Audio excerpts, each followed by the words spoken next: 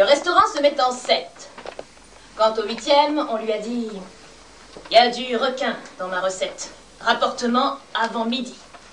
En acrobate sans filet, notre plongeur pêche à main nue. Il croise un squale, pas trop laid, qui ne peut donc qu'être au menu. Il le saisit par une dent, qui, comme on sait, ne vit pas seul, et qui le fait entrer dedans. Son drapeau blanc sert de linceul. Midi explose. Et le cuistot, quittant son four, lance à l'écume.